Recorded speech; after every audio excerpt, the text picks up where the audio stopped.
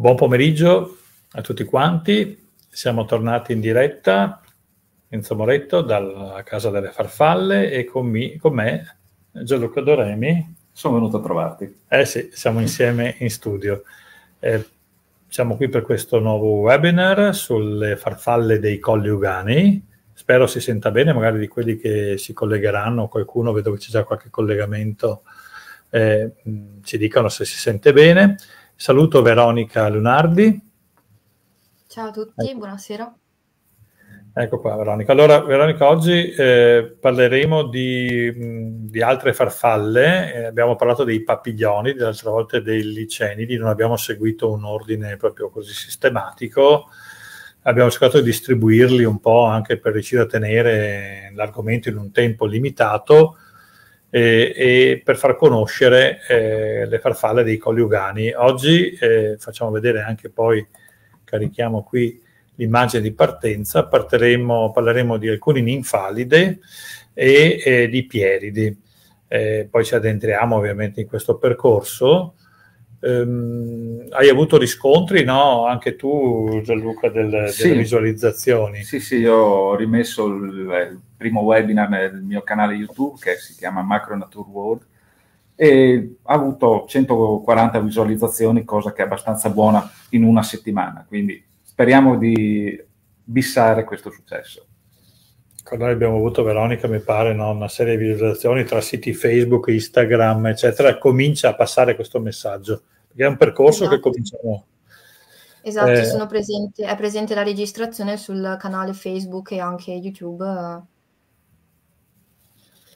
Ecco, eh, io faccio vedere poi anche qui nelle diapositive, che sono già caricate, che questo progetto all'interno del progetto del Parco regionale dei Colli Ugani, che ringraziamo, che ci ha accolto come stakeholder del progetto, come persone che supportano, Butterfly Arc, eh, sta realizzando insieme anche poi coinvolto un grandissimo amico e appassionato che è Gianluca Doremi, che vedete qui, nella redazione del documentario sui micromondi, poi sono molti amici che ci seguono eh, questa avventura dove andiamo a passeggiare, a muoverci nel parco e a scoprire eh, pi- piccoli esseri, poi grazie anche ai nostri naturalisti che saluto, eh, Luis Guariento, Luca Bolognin, Beretta adesso poi si collegherà anche Daniele, eccetera, eh, e tanti altri, eh, Davide Apolloni, Aurora, saluto tutti, ma sono veramente tantissimi. Eh, Eva, poi abbiamo... Sì. Eva, Eva Eva che ci segue anche nelle riprese, che dirige un po' la fotografia. Eh beh sì, è il mio direttore della fotografia. Eh. Io, se non avessi lei Poi avremo modo serie difficoltà. Di parlare, facciamo veloce, vediamo qui appunto questo progetto che comprende anche questo, poi alcune scoperte che stiamo portando avanti, le trovate tutte nel sito Micro Megamondo, per il momento che stiamo anche rifacendo, e vedete qui un'immagine poi del, del, taser che, che Gianluca, che è, già, che è già possibile vederlo. Sì, sì e poi dei link no? abbiamo messo su i Naturalist dove potete tutti contribuire. L'idea è quella di stimolarvi ad andare su ai sui colli, fotografare anche altri invertebrati, non solo farfalle, e pubblicare le foto eh, in modo che eh, riusciamo così ad avere un, un, compendio di tutte le specie che ci vivono. Con tanti occhi si va molto meglio. Ecco, ci sono anche tanti amici, ecco Eva che l'abbiamo citata, ci sta salutando e noi la risalutiamo. Ecco anche qualcuno intanto che si collega. Anselmo, che conosco, è nel, mio, è nel gruppo di identificazione ragni insetti. Fantastico, e, e salutiamo tantissimo. E poi appunto questo progetto di Citizen Science. E qui vedete anche su iNaturalist un'idea, appunto adesso andrà aggiornato continuamente, le osservazioni continuano a aumentare. Voi trovate, mettete immagini perché come vi, vi spiegheremo anche più avanti, mh, ogni luogo ha dei suoi colori, delle sue specie, anche molte cose da scoprire, sono veramente tante, soprattutto stadi che si conoscono poco, forme o varianti degli stessi animali che sono importanti per la biodiversità e che caratterizzano anche un progetto di parco, secondo noi, ma secondo il parco sicuramente, è un parco che è molto abitato, molto compenetrato con gli esseri umani, pertanto sta partecipando anche a diventare MAB UNESCO, cioè Man and Biodiversity, quindi trovare quell'equilibrio corretto tra l'uomo e ambiente. Ho cercato di dirlo in sintesi, ovviamente non voglio annoiare. Oggi parliamo di Pierdi, non so se tu volevi aggiungere qualcosa. No, hai già detto tutto, direi. Benissimo, allora intanto eh, scriviamo a Veronica che si sta occupando anche di seguirvi sulle pagine, intanto e mai ci farà viva eh, per darci delle informazioni. Eh, le pieride sono quelle che diciamo gran parte delle persone conoscono come cavolaie, poi eh, non cavolate, eh, diciamo cavolaie, perché molte sono legate a brassi, cacce, a, a quelle che chiamano crucifere, diciamo, no? come anche stessi cavoli, e vedete già che vi do alcune indicazioni di antenne clavate che sono tipiche poi delle, delle farfalle, eh, non è che sono esclusive, però l'assenza di ocelli rispetto a altre lepidotteri, eh, proprio questo prendendolo alla larga, perché gli insetti hanno spesso grandi occhi composti e poi hanno degli ocelli semplici, ne hanno tre, e, in questo caso l'assenza. E poi, come abbiamo visto per le epifesi tibiali dei papiglioni, che questa appendice che usano per pulirsi le antenne con la zampa anteriore, nel caso delle, delle, delle pieridi non c'è questa appendice. E le antenne sono approssimate molto, diciamo, hanno un ispessimento, vedete, anche grosso a livello apicale e sono molto vicine nell'attaccatura Beh, nella testa e, e, poi una cosa molto tipica anche dei piedi di questi artigli, delle unghie diciamo, delle zampine, che vedete che sono bifidi, sono strutture che hanno due, destra che sinistra, sono doppie. Ci sono situazioni che possono assomigliare a un artiglio bifido, ma sono altro che degli speroni che escono magari dall'artiglio principale. In questo caso sono doppi, quindi abbiamo imparato subito qualcosa e poi naturalmente chi conosce meglio o sa qualcosa in più ci può aiutare sempre eh, ecco c'è Matteo Galimberti che ci saluta e lo salutiamo Buonasera. anche noi. Buonasera. E, allora, Coliugani abbiamo fatto una checklist, cioè una, abbiamo raccolto tutte le informazioni che sono state pubblicate e sicuramente secondo me sarà sempre completa perché avremo sorprese, lo dico già, in quanto il cambiamento climatico, il cambiamento che sta subendo l'ambiente anche in positivo, inviterà specie nuove. Sì, sicuramente eh, a colonizzare quest'area e stiamo, abbiamo già visto in alcuni casi. Allora, io ho provato anche a darvi delle immagini così poco scientifiche, ma molto più visive, delle famiglie, appunto sottofamiglie in questo caso, di Pieridi e le Pierine, che sembra il nome quasi in persona, Pierino, sì. cioè, quelle più birbanti, diciamo, sono quelle bianche, in verità anche vediamo le dismorfine a destra, sono bianche, però hanno queste ali allungate, e, e peraltro hanno degli esponenti tropicali meravigliosi, adesso ne parleremo magari in futuro se abbiamo occasione Ma di approfondire. un volo diverso hanno proprio, sono più delicate come scritto, il volo stesso della dismorfina è molto più delicato rispetto a quello delle pierine, che sono più veloci, più dinamiche rispetto alle dismorfine. Certo, le dismorfine sono proprio veramente delicate in tutto. Sì eh, sono veramente dei piccoli apparizioni quando le vedete e sono farfalle relativamente comuni ma anche in alcuni casi molto criptiche perché possono, vedremo poi, avere sì. specie che si assomigliano molto, che si stanno capendo adesso, diciamo, e cogliadine eh, che sono quelle gialle, ecco, diciamo, in generale. quindi abbiamo già fatto una prima distinzione. E qui vedete appunto la famiglia, la sottofamiglia del Pierine eh, che eh, ha diverse specie, l'antocca di scardami, la porecrotesi, la perisi brassice, la pierisedusa, pierismani, per, queste quelle che si trovano sui colli eh, per il momento segnalate, pierisnapi, pierislape, ponti edusa.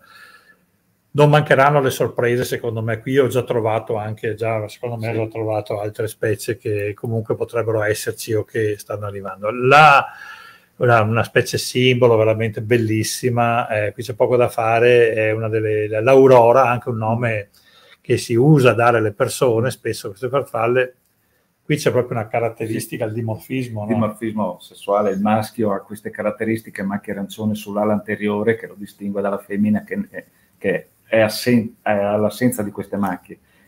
È proprio evidentissima la differenza fra maschio e femmina, non, ad occhio nudo. Ecco, proprio. Sì, qui però, peraltro, ci sono specie che potrebbero essere confuse quando sono le femmine che non hanno le macchie arancio-rosse, eccetera, visibili. Questo corallo, lo chiamo io un po' delle sì. ali posteriori, no? assomiglia in altre specie, proprio qui abbiamo l'Eucleosonia, eh, l'ho messa proprio come immagine per vedere un po' anche le differenze, vedete anche queste macchie sulle ali che la caratterizzano subito, anche gli apici ovviamente, sì. no? Sì, sì, sì. Concordi ehm, che proprio nel caso della femmina lì c'è possibilità di fare confusione. Sì. Anche se la cardamine sfarfalla molto presto e l'ausonia forse un po' più, più avanti e più, termofila se vogliamo. Sì, no? se, se, ben ricordo anche le macchie scure sono più, non sono così marcate nella femmina della cardamine. Sono... Esatto, le vediamo anche qui poi nell'immagine, anche se è un po' scura, si vede proprio che le macchie sono molto più tenui rispetto a questa e abbiamo proprio il confronto. Io ho voluto portarvi queste immagini perché sapete, delle volte equilibri e dovresti tagliare pezzi di libro e tenerti vicino sì. anche col computer, fare un sacco di lavoro. Ho cercato di risparmiarvelo. Non metto tante piante, ma in verità alcune che sono anche molto carine, la lunaria, che ci sono questi colli, la liara peziolata, la cardamine pratensi, perché il bello è andare a cercare queste piante perché si trovano i bruchi. Eh sì, solo che posso dirti che dalle mie parti, nonostante sia andato a cercarla nei prati, io devo ancora vederla dal vivo, la cardamina. Non l'ho ancora trovata. Ma il bruco o l'adulto? Sia l'adulto che il bruco. Sì, però qui sui colli, per esempio, stanno lungo i bordi eh, più freschi, dove cresce, per esempio, la, lara, la liara peziolata, peziolata è, è, una specie che ha bisogno di ambiente più fresco sui bordi eh, dei boschetti e lì per trovare i bruchi, guardate, intanto si vede la farfalla che gira e depone le uova, e allora quello è il primo e poi sono veramente mimetici. Sì. Sono verdi, sono mimetici e voi potete guardarli anche da vicino, non li vedete, loro stanno lì tutti belli, dritti. È una caratteristica delle pierine perché anche le altre pieri sono abbastanza criptico, è difficile da vedere. La caratteristica dei bruchi di non stare troppo dove si mangia, vicino si sì. spostano, magari vanno di sera, escono sì. fuori e di giorno se ne stanno ben appiattiti contro la vegetazione, è normale, voglio dire quindi non disperati, sono arrivate subito, fate attenzione, meritano veramente. E magari sulla pagina inferiore della foglia. Ci sono anche altre specie di Antocaris in Italia, l'Aurora dell'Etna, la Damone, eccetera. Mm, ce ne sono anche a nord, però da noi c'è solo la, la Cardamines, insomma adesso la, la, se no bisogna andare o in Piemonte o in Calabria eh, e no. in Sicilia. E, ehm, fuori Ecco, questa è un'altra specie molto interessante. Eh, una volta era veramente molto comune, ancora comune in zona di montagna. Eh, è ancora una specie mm. comune. Eh. Però collina, pianura è già molto più rara. Pianura, pianura. Eh, diciamo che questa specie ha subito molto impatto dall'agricoltura che tende a limitare sulle rosacee la presenza di parassiti. I meli, per esempio, oggi sono trattati eh, altre rosacee, ciliegie, eccetera, tutte piante su quali può anche arrivare, soprattutto pruni pruni, eccetera. Quindi deve adattarsi su biancospino, su altre rosacee dove trova situazioni favorevoli. Quando sfarfallano una caratteristica, queste farfalle si impuppano a fine anno, passano l'inverno come crisalide e sfarfallano sincrone. Tutte insieme. Tutte insieme, Tutte quindi insieme. Posso, si possono vedere veramente tanti, vedete nella foto a destra, tanti individui la mattina presto li trovate appoggiati a, grappoli. A grappoli, sì. grappoli. È bellissima. E poi un'altra cosa, hanno un meconio rosso, cioè la prima goccia di pipì, di popò, chiamiamola così, che fanno le farfalle, pipì popò perché sono tutte insieme, perché nella crisaide non c'è il bagno, ricordo sempre un po' in modo ironico, quindi devono tenersi durante la trasformazione tutto, e quando escono la usano anche per difesa, eccetera, però un colore rosso è un tempo, si pensava, quando c'erano grandi infestazioni, diciamo, chiamano così, quando i meriti erano trattati, che ci fossero le famose piogge di sangue, si vedono queste goccioline rosse, anche in epoche antiche, chiaramente. E bellissimo, qui andiamo su un mondo un po' più complesso, mm, che comprende diverse specie, qui vediamo la più grande e la più termofila, chiamiamola così, che ama sì. il caldo, che è la Pieris brassice. È chiamata cavolaia maggiore. Sì. Eh, questa qui veramente è un animale che si trova soprattutto nei periodi più caldi, eh, lei migra oltretutto, si sposta da sud a nord, quindi viene più facilmente a nord quando c'è più caldo, fa, va fino a nord Europa ovviamente, va anche molto lontano. Eh, qui c'è un, l'evidente dimorfismo sessuale, perché diciamo il maschio e la femmina differiscono per i punti neri. Sì, il maschio no, non ha punti neri. Mentre... Questo, questo vi siamo scritto maschio, appunto. Sì, il maschio non ha punti neri, mentre la femmina li ha. Ed è la femmina quella più difficile da identificare rispetto ad, altri, ad altre specie di pieris. È anche una specie comune se avete in giardino, nell'orto, chiaramente delle brassicacee o dei cavoli se avete piantati. Sì e non è l'unica perché arrivano sia notturni alla mamestra Brassis, arrivano notuidi, diciamo, e rebidi oggi, ma la, arrivano anche altre cavolaie minori. Sì, la, ed è una specie sulla quale può capire come funziona anche il ciclo di una farfalla facilmente e capire quanto siano in, attaccate da parassitoidi che cominciano da, da, insetti ma anche malattie batteriosi e virosi. Uno beh, tira su dei bei bruchi e dopo alla fine scopre che escono mosche o vespe. sì, è già successo con altre specie. Eh, come vedete, questo abbiamo un po' anche velocemente, così vediamo che sono tante le specie che tratteremo. Questo è un altro animale che ci assomiglia molto, no? però sì. vedete qui abbiamo messo delle... Stiamo parlando della Pieris manni, è più piccola della cavolaia sì, maggiore. È più piccola, può ricordare la cavolaia minore. La... Attenzione perché le dimensioni degli animali non sono sempre costanti, variano no, molto, qualche libro che ha mangiato poco può uscire anche veramente molto piccolo. Sì, ma di solito c'è un range in cui si adattano abbastanza valido, che è quello che abbiamo anche scritto qua come apertura alare, ed è quello che a volte le può, eh, aiuta a distinguere ad esempio la brassice dalla già la dimensione è notevole. Però quella che si, con la quale si può, si può, confondere è la Pieris rape che io ho messo già in anticipo qui e ho messo già anche due caratteristiche. La macchia scura apicale è più ridotta e le macchie sono più circolari.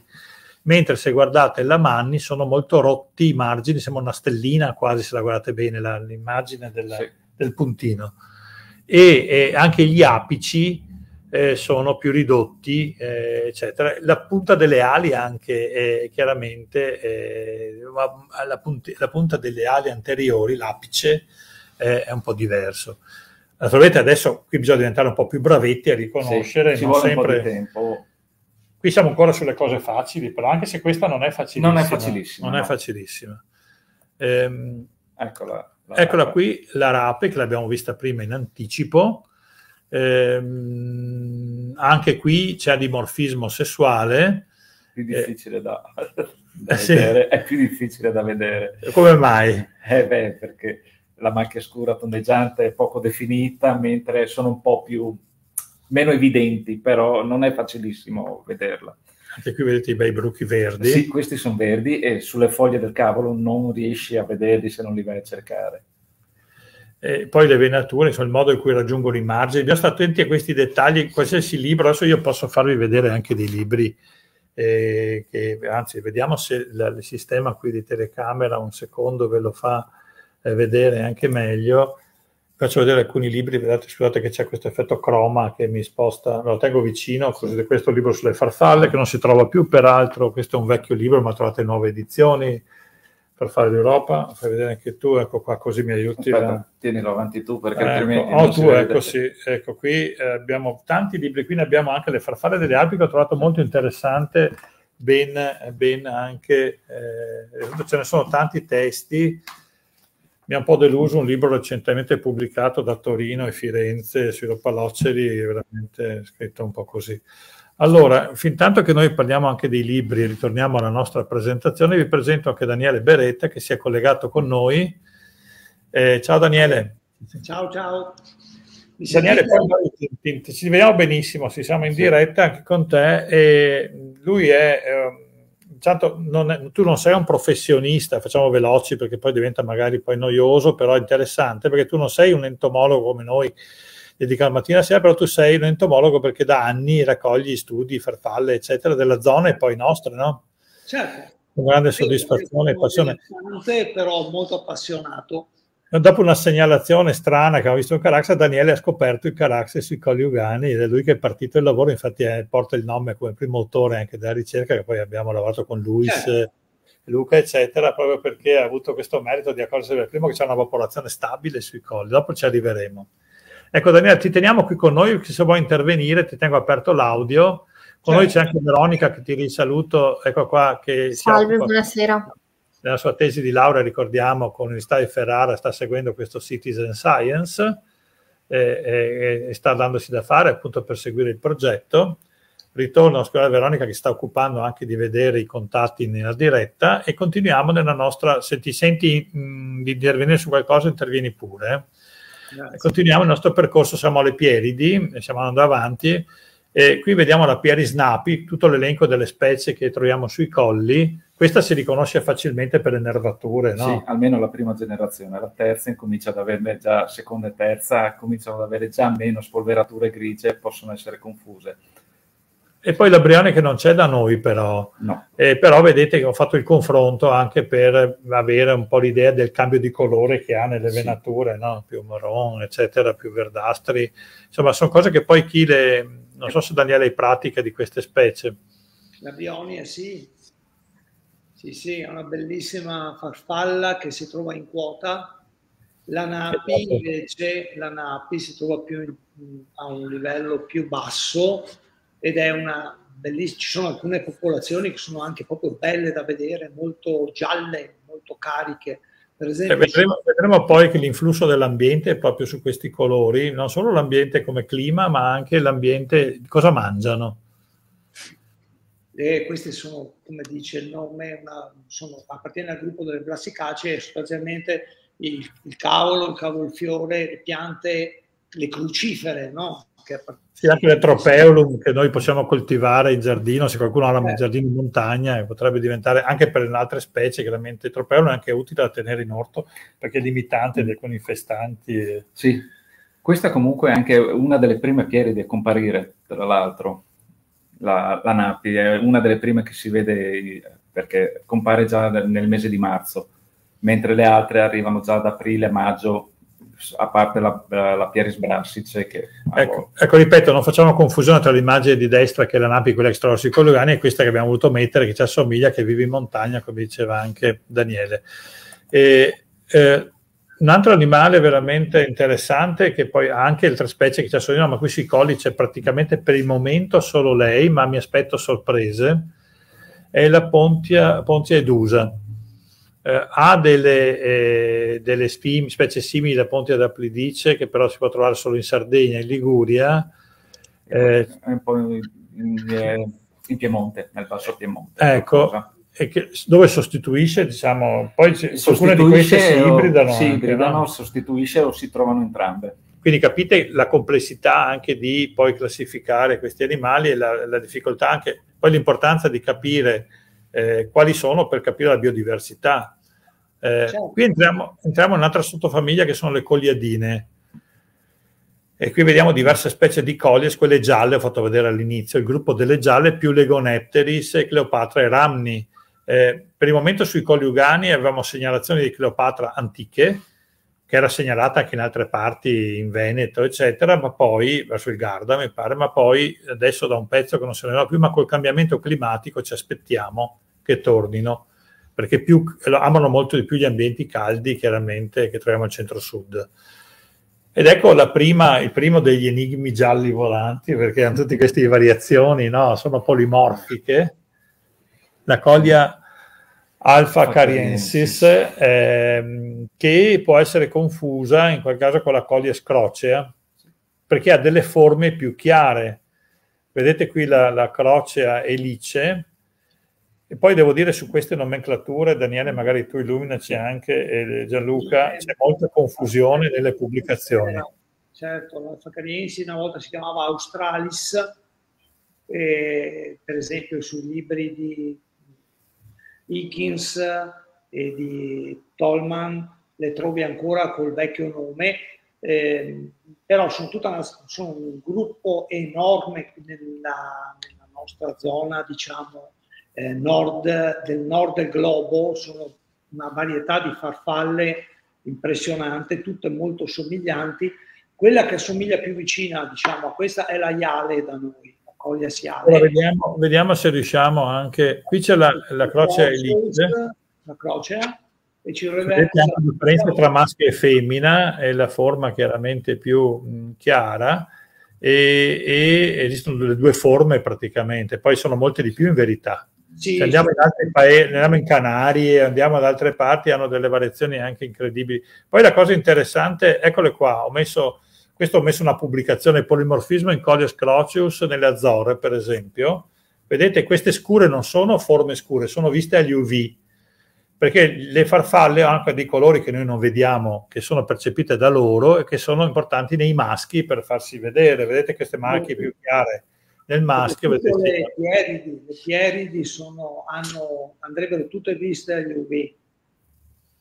Perché ecco, qui vedete un altro fatto, Daniele, che è interessante. Dicevamo prima, la, la selezione sessuale e l'energia, sono questi, queste, questi due piccoli grafici blu e righe che si assottigliano, hanno, hanno, valutato la quantità di azoto che possono assumere dalle piante, perché queste vanno su leguminose fondamentalmente, uso questo termine che poi si possono chiamare queste famiglie anche in modi diversi, ma è la lunghezza della lunghezza del giorno e le, temperature fredde. Vedete le variazioni, questi, questo mix di fattori genera tutta una serie di colori e di adattamenti di queste fare, quindi diventa complicato, no?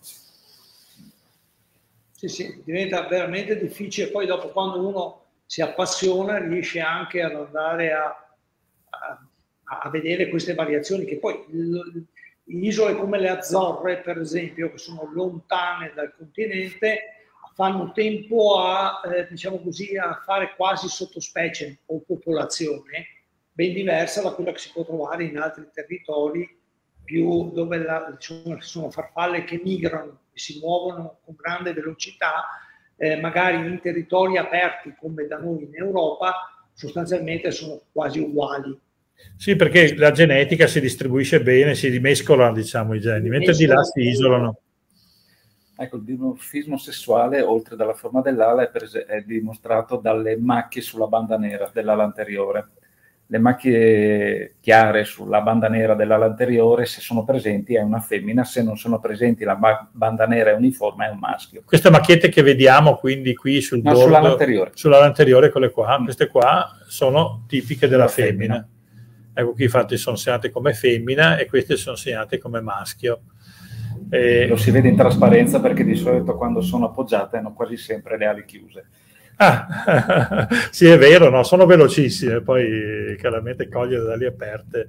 Qui abbiamo, la, l'avevamo citata prima, no, la IALE? Sì, la IALE è quella che, che, dove è più difficile la diagnosi differenziale con l'alfa cariensis però questa ha l'ala più appuntita, me, cioè meno convessa. Io l'ho indicato con una freccia, se vedi. E le macchie, le macchie eh, diciamo, quelle vicino al, quelle scure vicino all'attacco dell'ala, più ampie, e le macchiette gialle dell'area posteriore più sbiadite, meno brillanti. Una domanda che ci arriva da Pierpaolo, te la faccio vedere. Dice, avrei una domanda, la forma elice o elicina sono sinonimi? Eh, lo so che è una domanda difficile.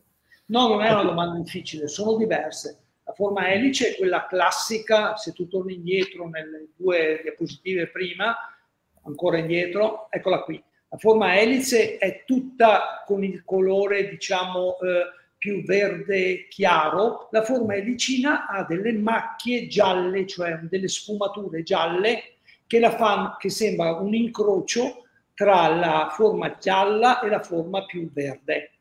La forma elicina quindi è diversa dalla forma elice. Grazie, Queste, eh, abbiamo risposto al volo, quindi qualcuno che ci segue in diretta ci fa molto piacere eh, anche per questa specificazione. Tu sei ovviamente un esperto eh, attento proprio a questi eh, dettagli eh, perché altrimenti non si riesce poi a riconoscere le differenze tra le specie. Salutiamo Maurizio e Pierpaolo che si sono appena collegati, che hanno scritto. Fantastico. Allora, qui abbiamo un altro animale bellissimo perché parliamo della Cleopatra che da noi c'era, segnalata, ma non c'è più, potrebbe tornare col maschio con la famosa marchietta più colorata, sì, più rosata e arancio, e, e, la femmina invece verdolina come se ci vedremo poi per l'altra specie, la Ramni. Tutte e due queste specie hanno una caratteristica, a parte le, le piante nutrici che sono le stesse, ramnacee, la Ramnus frangola, frangolanus, Ramnus, eccetera, ma hanno una vita um, particolare, sono molto longeve tecnicamente, sì. teoricamente come adulto, perché stanno in giro un anno praticamente, tra estivazione e svernamento. Possono svernare.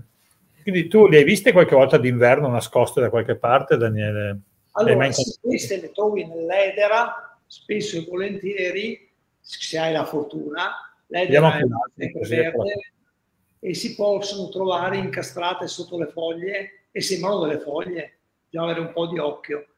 Quindi la tu sei riuscito a vederle tra l'edera, sei riuscito a trovarle, vanno a nascondersi in mezzo a questo folto, diciamo, protezione dell'edera che attorno agli alberi, ai tronchi. Certo. La cosa più bella della Ramni, questa è la Ramni che è diffusa anche da noi, mentre quella sotto è la Cleopatria e la riconosci per la banda gialla dell'ala anteriore inferiore. le due sopra sono le rammi, quella esatto. sopra la Allora, la eh, cosa bella è che la parola butterfly deriva da lei. Farfalla di burro deriva da questa farfalla. Nel, nel nord eh, Europa, in particolare in Inghilterra, non c'è la, la Cleopatra, ma c'è questa. E pare che il nome butterfly derivi proprio da questa farfalla che è gialla giallo ecco, qui, qui, c'è sempre questo approccio, sai, linguistico che delle volte può essere anche sviante, perché naturalmente non è che io ti contesto questo, no, no, no, perché c'è scritto in tutti i testi, c'è scritto ovviamente è riportato. Però in verità sai che l'inglese è una lingua anglosassone e ehm, farfalla in tedesco si dice Schmetterling. Certo. che l'antico prussiano ha un'origine che vuol dire Schmet e Lecker, vuol dire fatto strega che va a rubare il latte, che va a leccare il latte e il burro. Allora, ecco, questa è un'antica credenza, che non è un mobile, ma cosa che...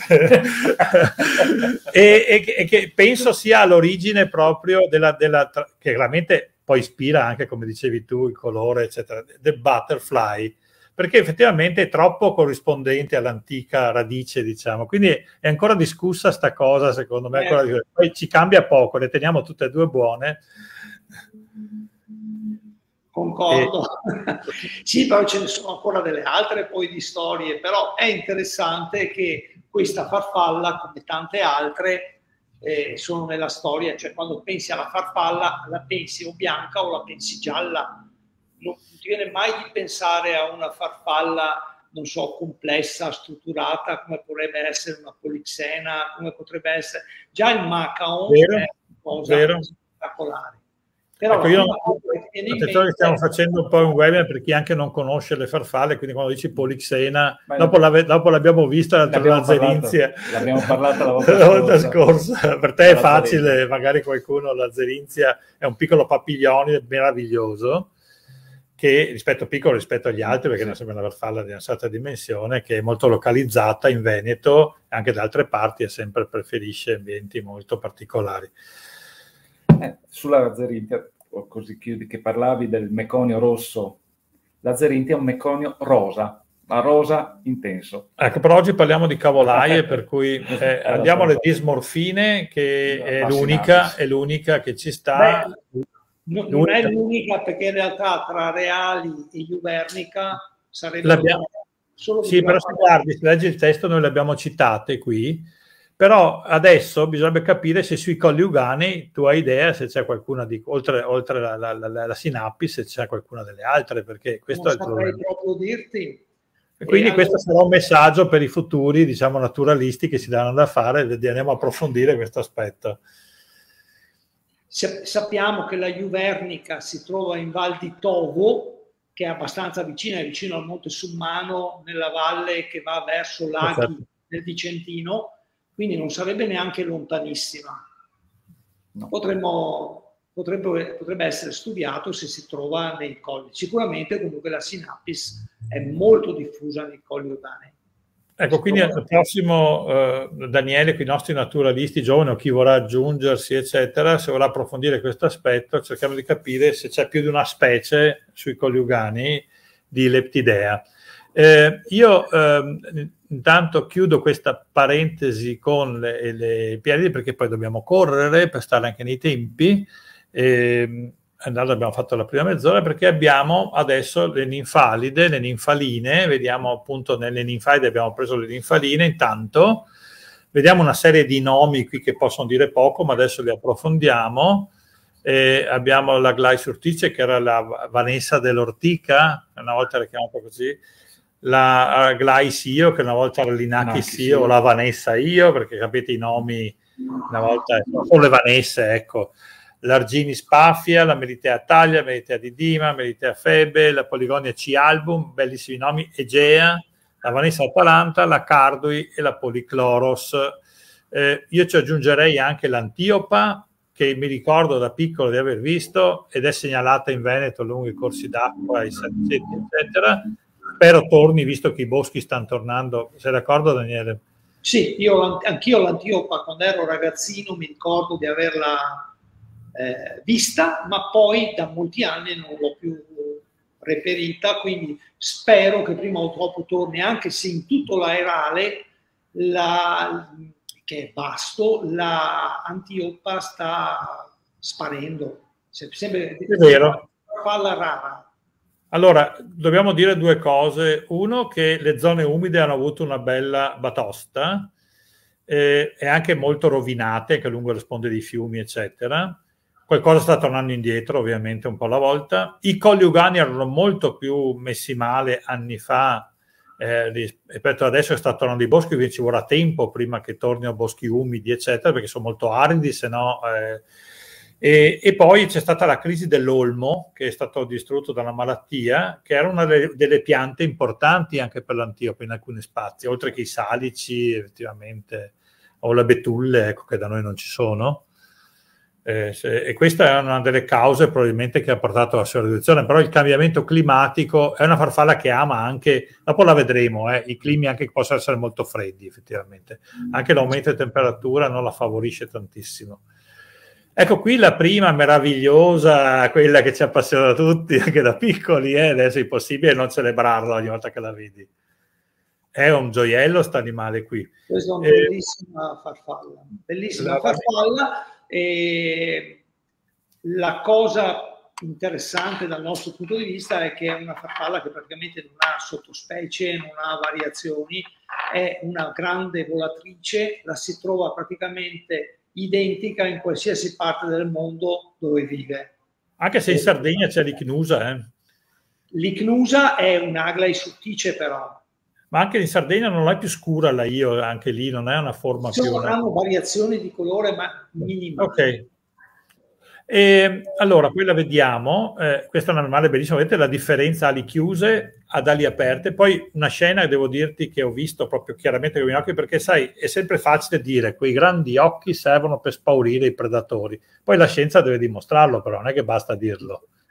Io l'ho visto con i miei occhi, ho visto la, la, la io appoggiarsi sulle rocce dove abbiamo i laghetti, anche lì la casa delle farfalle, è pieno di lucertole, lei stava lì con le ali aperte, quando le lucertole sono avvicinate l'hanno vista per cacciarla, lei ha aperto le ali, le lucertole hanno fatto un salto indietro e sono scappate.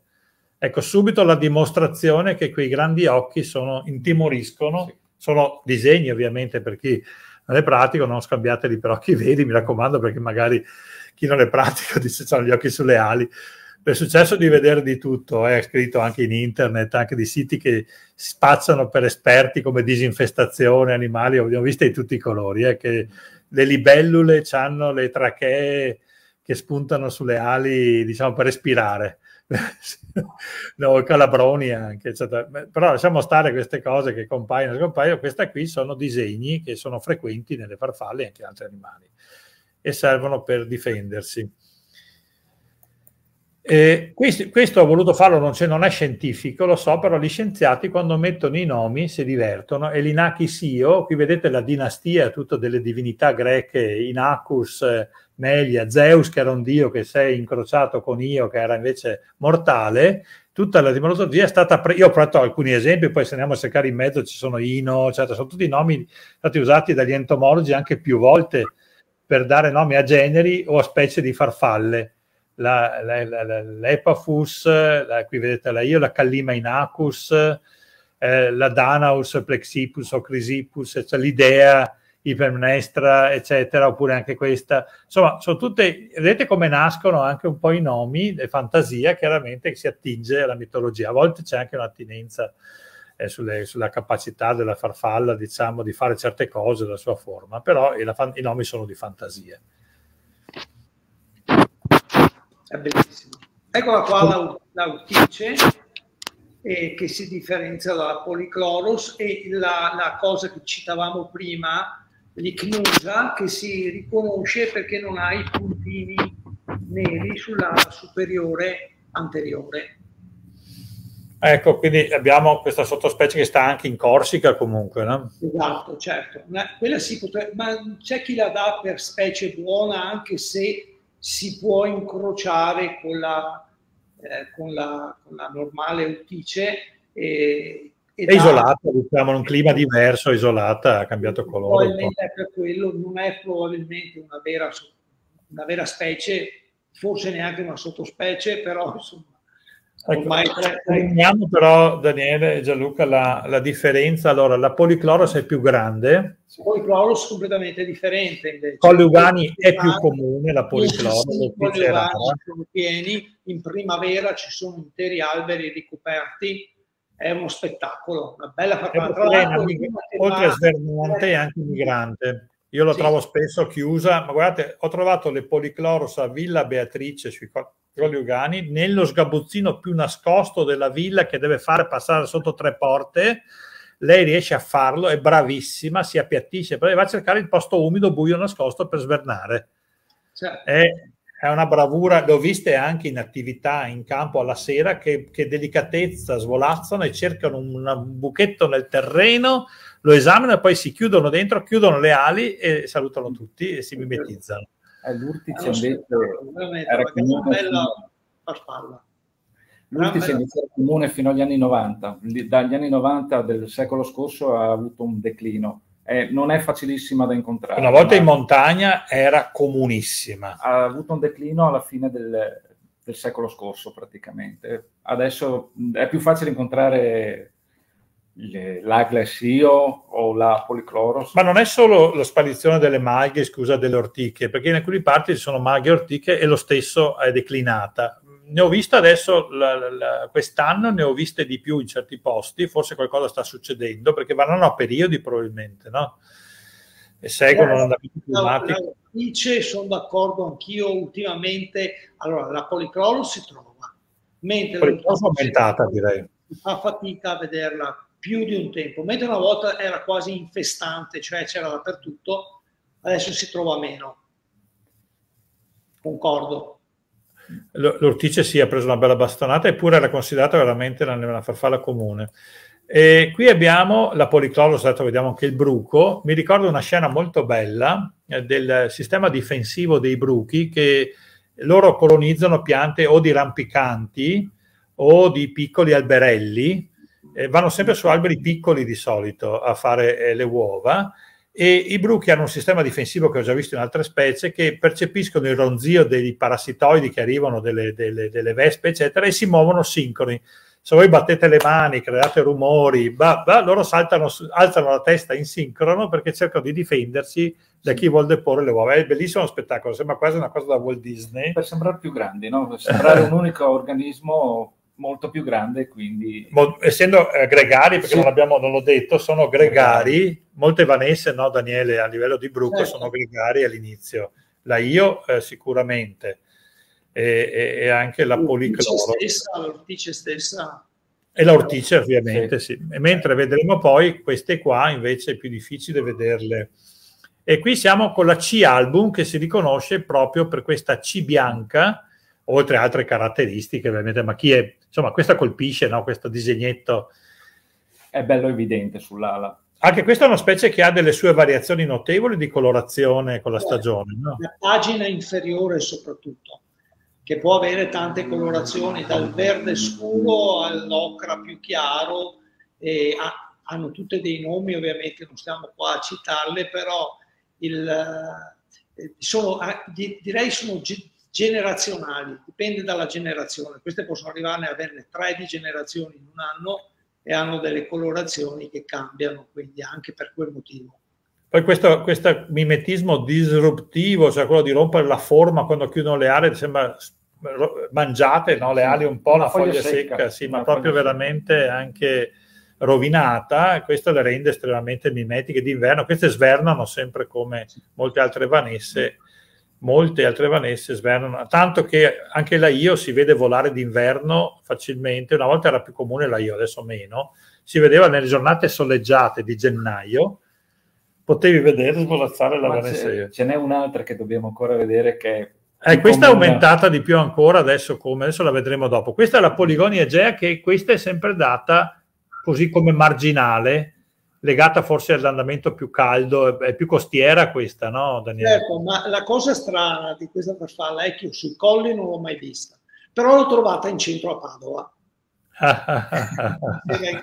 faceva shopping. Questa faceva shopping e addirittura ho trovato le crisalidi di questa in un telone verde eh, incredibile.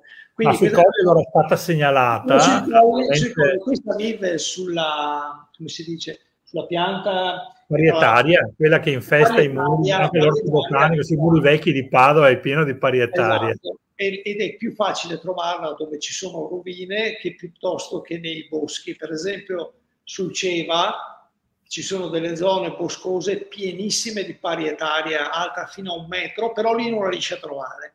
Strano. Ah. Incredibile. Io che abito in zona costiera, però è tutta zona, diciamo, moderna, con parietaria, non c'è, non l'ho mai trovata. E eh vabbè, allora dobbiamo aspettare che arrivi anche lì col tempo, quando maturerà l'ecosistema. Sì. Eh, allora, vedete anche qui i due segni, questo l'ho girato a forma di L, solo poi c'è anche, sono tante altre differenze, i puntini di, di colore, eccetera, però diciamo si riconosce abbastanza facilmente subito eh, così.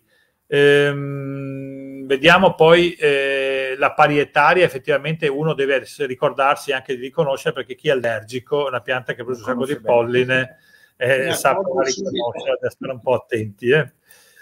E eccola. ecco la mitica, questa grande anche capace di fare spostamento, però ormai stanziale, direi anche sì, da sì, noi col caldo. E la si vede a gennaio anche questo. Se non fa abbastanza freddo, diciamo in centro Italia si trovava a ciclo continuo larve, adulti, crisalidi. Da noi sta cominciando anche lei, anche qui ormai a essere presente d'inverno tranquillamente. Io l'ho vista a gennaio questa in pieno gennaio, una giornata di sole l'ho vista volare. Fino in Trentino, lungo i laghi, anche Caldonazzo, che sono posti un po' più caldi, lì questi animali sono già attivi, no? anche giornate di sole non li abbandonano. Anche maschio, tu, no, Daniele, avrei visto sto, eh, fenomeno. È uno spettacolo questa farfalla, anche quando vola. Questo è un jet, caspita, sì. Che si mette con le ali aperte e vola radente, è veramente uno spettacolo. Questa è una bella bestia, gran bella bestia il maschio è territoriale, tra l'altro, attacca qualsiasi cosa si avvicina, può essere un uomo, un uccello, qualsiasi cosa gli va addosso. Però vi dico per esperienza, se lo convincete, vi muovete piano, avete alcuni accorgimenti, eccetera, a un certo punto vi adorerà perché diventate il suo trespolo. Sì, e a questo sì. punto non vi abbandona, vi si appoggia addosso addirittura. Dopo un po' sì, comincia sì. a girarvi attorno, vi studia Sembra che non vi faccia caso, fateci attenzione perché lui continuerà a girare, vi guarda, vi passa vicino e va via. Dopodiché si appoggia. È sì. straordinaria, eh, Divent, diventate il suo luogo, diventate, eh, se siete al sole, poi in una zona esposta, protetti da una parete, lui ama questi spazi di circa 7-8 metri di sol- sì. assolati, è stato studiato molto bene l'Atalanta, però è molto interattiva, per cui è bello fare questa esperienza questo animale.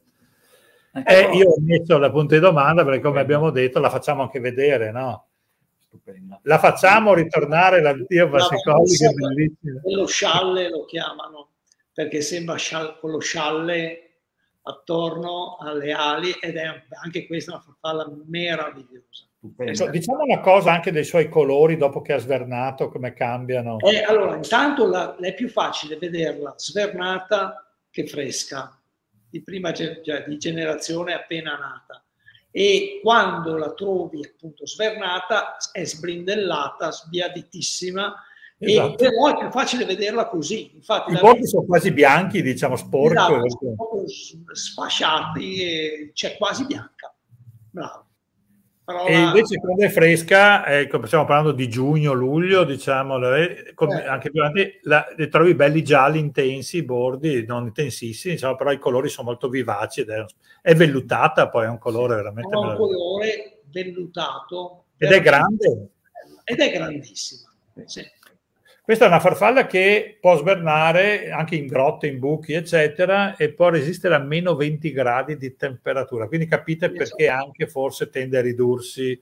Lei ama, se andiamo a nord, chiaramente aumenta la sua presenza. Io un ricordo stupendo perché la mia è la prima farfalla che ho fatto nascere da, da bruco, crisalide e adulta. E avevo 12 anni. Però sei riuscito a trovare la pianta dove stava il bruco? Era in Valle d'Aosta. Quindi... Ah, beh, non vale più. non vale. Perché io adesso vale. trovarle, bisogna su betulle o su pioppi, non so, stare su diverse piante piccole, sempre ai bordi dei boschi, non stanno dentro il bosco. Io ero in un meletto, me lo ricordo. Ma dai, ma c'era qualche pianta allora sì, vicino a queste? Sì. Ho trovato due Mele non mi risulta che le mangi. No, no, no, infatti. a parte, ci sono sempre sorprese, sapete, poi le, le, le, farfalle ci sorprendono perché qualche individuo può decidere di cambiare pianta e anche farcela. Eh.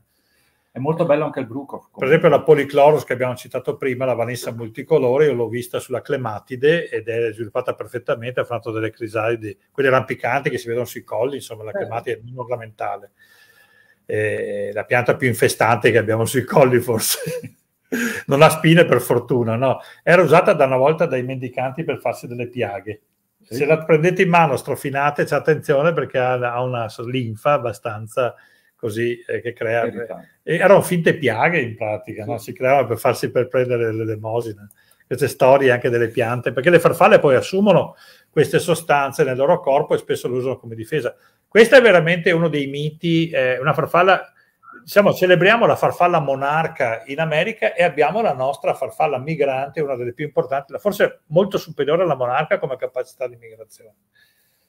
Sì, l'anno la... scorso, tra l'altro, è stato l'anno, un anno di immigrazione importante, il 2022 c'erano ovunque, in qualsiasi, a qualsiasi quota e in qualsiasi posto tu andassi. C'è stata, c'è stata una, ci sono invasioni periodiche quando piove, adesso sta piovendo molto in Nord Africa, vedete che corrisponderà poi. Intanto saluto una persona straordinaria come Alessandro Sensidoni che ha scritto un libro bellissimo dove mette insieme ecologia piante eccetera io ce l'ho qui e non so se si trova più. E lui dice molti bruchi stupendi in Umbria quando era un bambino riferito probabilmente alla Vanessa Antiopa eh, che abbiamo visto. Sensidoni, cercatelo, è una persona straordinaria che fa delle cose bellissime, dipinge anche benissimo oltre a tantissime altre attività. E lo salutiamo tantissimo Alessandro. E la Vanessa Cardui, come vi dicevo, eh, fa queste migrazioni, arriva dalla Spagna, poi riesce anche a attraversare il mare, eccetera, invade letteralmente l'Europa ogni anno, parte anche ormai da sud e anche stanziale in alcune situazioni. Qui faccio vedere uno studio che è stato fatto, anche in America fa questo, eh, vedete la migrazione che addirittura in alcuni casi parte dalla zona subsahariana, quindi attra- alcune popolazioni si è visto che attraversano il deserto del Sahara, per andare ad arrivare fino in Inghilterra, al nord Europa. pensate questo piccolo animale, meno di mezzo grammo di peso, eh, cosa fa? E, e poi eh, torna chiaramente, eh, chiaramente noi non la vediamo la migrazione di ritorno facilmente perché cambiano, veloci- cambiano modo di volare e stanno molto più alte si fermano molto meno, diciamo. Però quando c'è la migrazione anche in andata, puntano tutto verso nord-est un po' le vedete passare in volo rapidissimo e con questa vita relativamente breve, poi non so come fanno a farcela, dove trovano delle porre, chiaramente si muovono e depongono le loro uova e lasciano. È una specie di colonizzazione la prima migrazione, è un ritorno eh, proprio migratorio. Mm e qui andiamo nel caos. Eh, sì.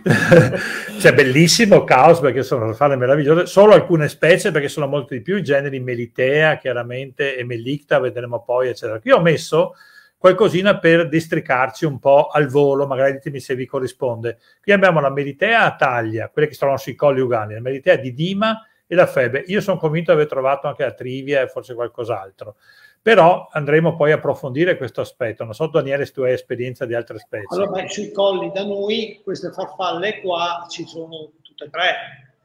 Ma questa è una checklist che abbiamo fatto. Io la trivia nei colli non l'ho mai vista.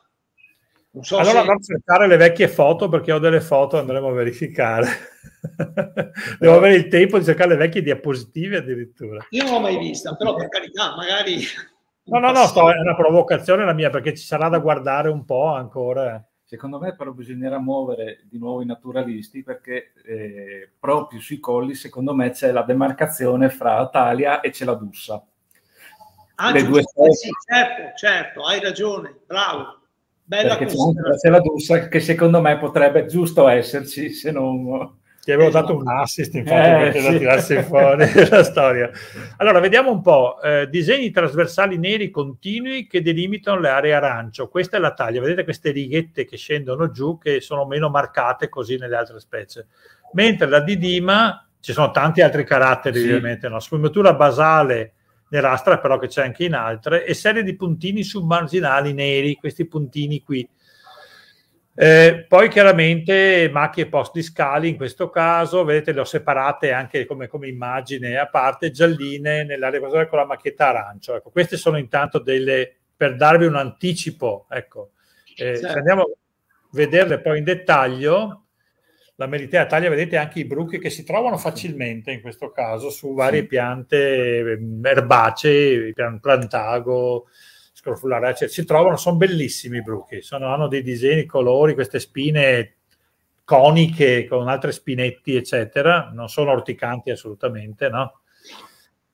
E, e, si trovano facilmente facendosi calore. Adesso sarebbe la stagione giusta per trovarli anche, no? Cominciare sì. Eh, sono già presenti in questo periodo. La eh. taglia, ecco che vediamo la foto in questo caso della coppia, si può distinguere da, dalle altre per questa doppia riga sul bordo, sul margine dell'ala, che di solito quella più, più proprio queste doppie righe, righette esatto. che vediamo, questo binario da treno, diciamo, ecco che fa la curva. Aiuta a distinguerla da altre specie.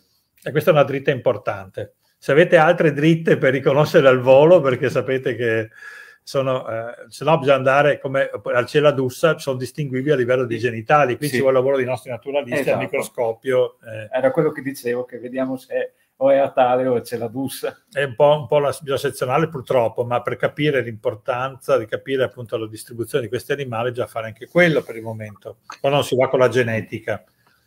E qui abbiamo la didima invece, vedete che bell'arancio, che, che punti meno, meno importanti, sì, diciamo, meno scuri. Diciamo che mentre le altre melitee hanno una sorta di reticolato nero sull'ala esterna, qui il reticolato non c'è, ci sono solo delle macchie, quindi è una delle più distinguibili dall'ala esterna.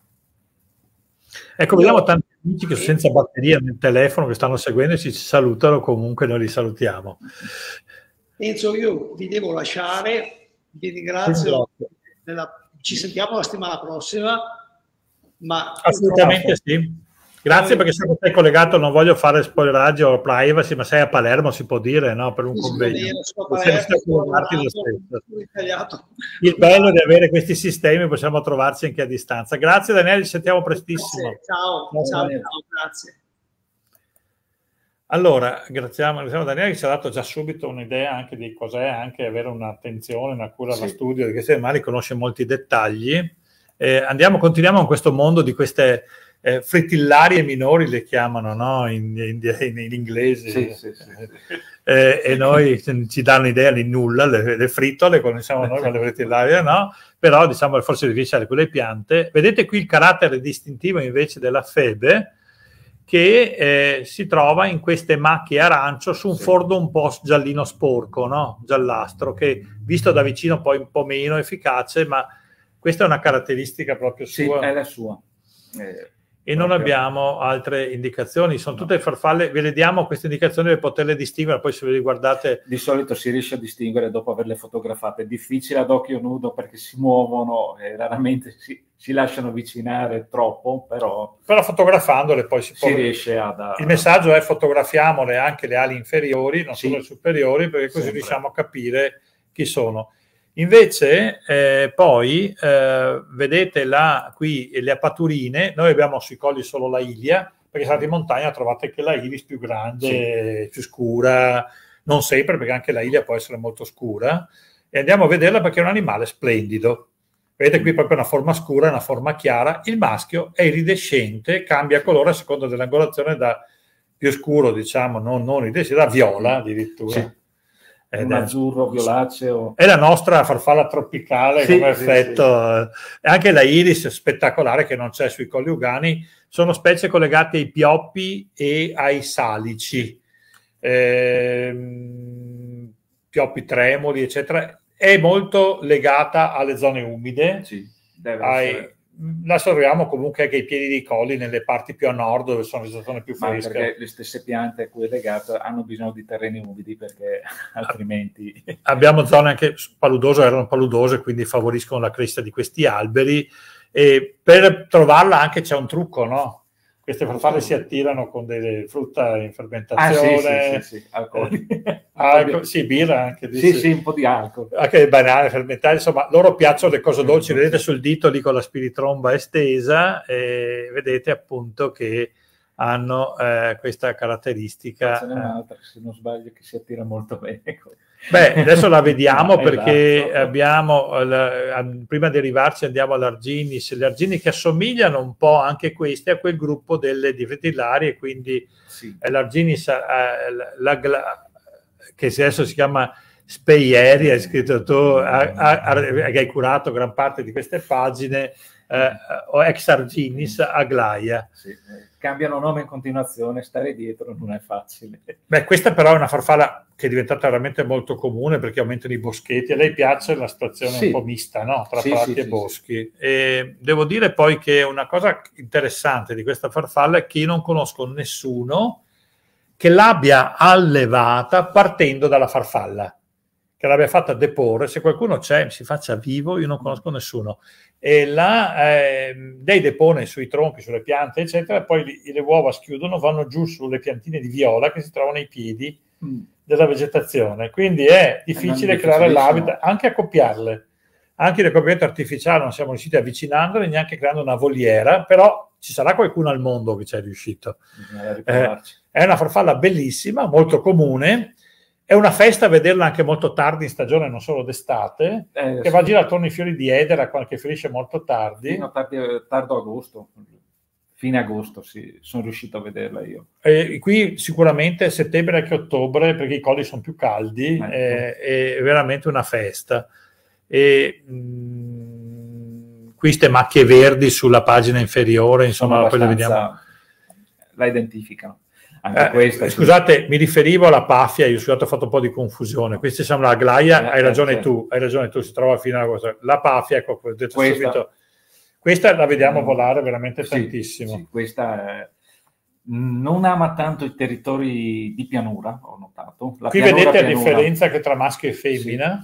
la si trova già nelle aree precolinari, ma non tanto la pianura costiera. Non ama la pianura costiera, non sono mai riuscito a trovare. Ecco, vedete le righette qui sull'ala della femmina e del maschio. Sì, diciamo. Questo è il dimorfismo, la, la, la, presenza delle righe sono tipiche del maschio, mentre la femmina ha solo le, i puntini. Vediamo bene qui. Poi da noi non ho visto tanto forme scure, le valesine, come si chiamano? Sì, è la forma verde. Verde, sì, È sì. una forma verde però in montagna si trova facilmente la forma più scura o marrone anche a volte sì, verdolina verde con, marrone verde eh, militare. sono vari- variazioni che si possono vedere però sui coliugani ho visto che la forma prevalente anzi, è la classica arancione. arancione. Meravigliosa anche questa Molto non conosco grande. nessuno che l'abbia allevata eh, partendo dalla farfalla. E, e sarebbe bello saperlo insomma per conoscere meglio che la biologia. Questo è un animale anche molto interessante, non è così comune da vedere. No, la Boloria via non è comunissima come specie. Ha queste macchie argento che vedremo poi presenti molto più intense su un'altra specie, sì. che vediamo dopo. E, e, questa è una, anche lei arancione ovviamente Insomma, riconoscete per queste macchie argento faccio vedere anche altre specie la selene sì. vedete la differenza tra la struttura delle macchie questa più grandi più compatte eccetera e anche il, il disegno e i colori dell'ala è diversa non è difficile riconoscere una volta che avete la foto a questo punto, sapendo che c'è sui colli, abbiamo queste sì. due specie qua. E, ehm, e, questa è la eh, medaglia, le cose dalle macchie argentate, più, è un iconino, proprio si vede. C'è il eh. sole che le riflette, quando, se c'è una giornata di sole, tenta, bisogna stare attenti a fotografarla. È metallo, le, è sì, metallo come riflette. Ma va uh, proprio a a rovinare la foto, il riflesso. Sovraespone. Sovraespone, esatto. Ti fa un flash praticamente. Esatto. Eh, allora, dimorfismo sessuale non è molto evidente, anche se la femmina è un po' più grande perché le uova chiaramente sì. e tutto il resto. Eh, queste macchie argentate proprio la caratterizzano sì. anche in altre specie della famiglia, anche tropicali, hanno spesso queste, questa situazione monetaria, altre specie, però da noi non esistono, è inconfondibile. Guardate, quando le ali aperte è tutta questa serie di puntini arancio, è abbastanza grande. Sì, e tra l'altro sono abbastanza riconoscibili anche ad ali aperte i suoi puntini. È diversa da La forma delle ali sì. più tondeggianti, eh, eccetera. Sì, anche se appuntita, sì, sì, sì. E poi questi macchie grandi argento sono veramente una farfalla riconoscibilissima e molto, da, da, poco anche rientrata nei ninfadi perché l'avevano tenuta a parte come sì. famiglia, è la Pinocchio. Mm, bellissima. La farfalla Pinocchio perché ha dei palpi labiali lunghissimi, ha le palpi labiali lunghissimi, e vedete qui, li vedete, queste sono le antenne, magari poi questa forma, anche lei è un po' arancia, questa forma sì. particolare che sembra una figliolina, sopra un po' arancio e marrone, non è facile vederla, però no. è diventata molto più comune ultimamente, sì. sta sugli alberi di Bagolaro, sì, eh, sì, che è abbastanza locale. Si vede un po' più, di più rispetto a una decina d'anni fa. Allora, si trova a sud dei colli più facilmente, che è più termofila come specie, però sta un po' dappertutto. Pensate che una volta mi, mi ha bussato letteralmente alla porta di Esapoli, si chiama Padova,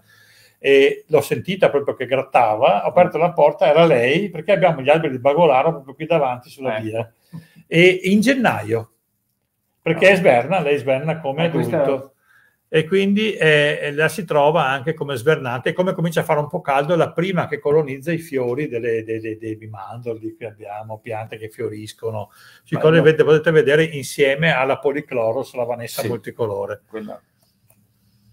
E poi eh, per il momento l'unica che è la reducta, perché la Camilla si può pensare che possa esserci, ma non mm. l'abbiamo mai vista.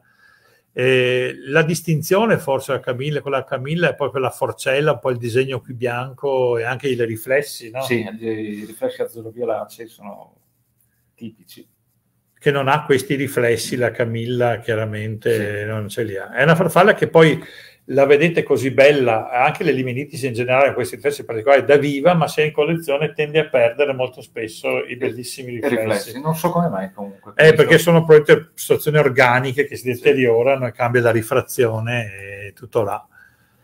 Adesso arriviamo alla specie nuova che è stata assegnata sui colli, che in verità è una specie diffusa a livello nazionale, è il punto più a nord come popolazione del suo areale mediterraneo, e vedete una farfalla grandissima, quattro code, due per ogni ala posteriore, e la, la, la, la pascià, diciamo la farfalla del, cor- del corbezzolo, bellissima. Per il momento l'abbiamo vista nel gruppo del Ceva, ma sta su un'area anche molto più ampia. Un grande volatore, sì.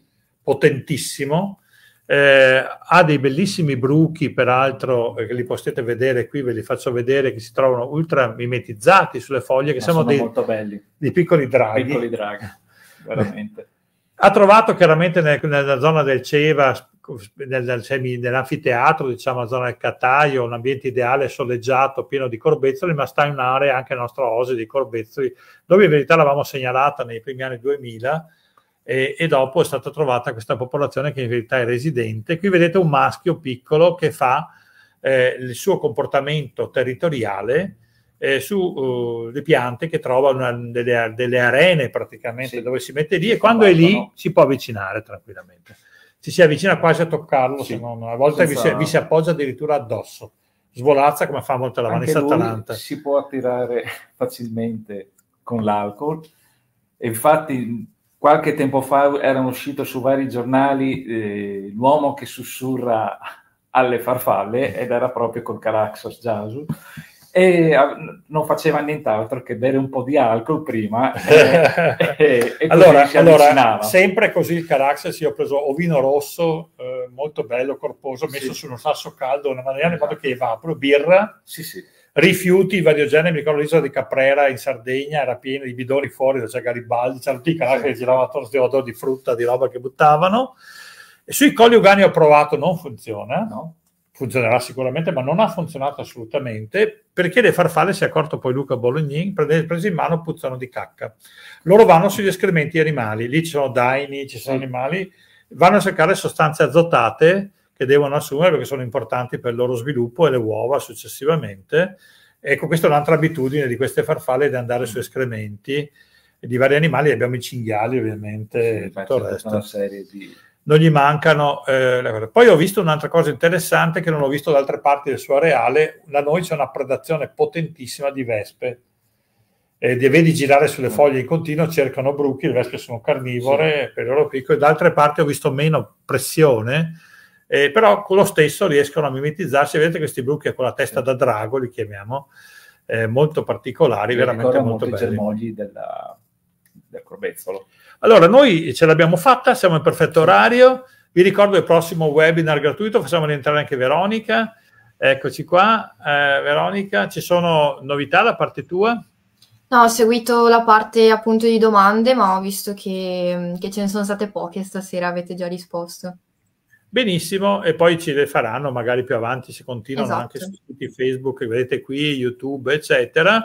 Il prossimo è il 2 giugno, ci ritroviamo con un po' di farfalle ancora un po' più difficili, però faremo vedere qualche falena magari così se hai voglia se preparo qualcosa. qualche falena di quelle più vistose perché molte le scambiamo per farfalle ma sono falene come questa che vediamo, vediamo qui in alto le ali rosse ne vedremo molte altre che molte falene volano di giorno e altre invece sono notturne ma sono molto importanti perché così sono vistose e diamo un po' un'introduzione a queste specie. Allora con questo ringrazio il Parco Regionale di Colliugani, ringrazio la Butterfly Arc, ringrazio tutti i nostri naturalisti che collaborano, Gianluca e, e Veronica, e, e, ci vediamo quindi il 2 giugno con il prossimo webinar. Grazie, arrivederci.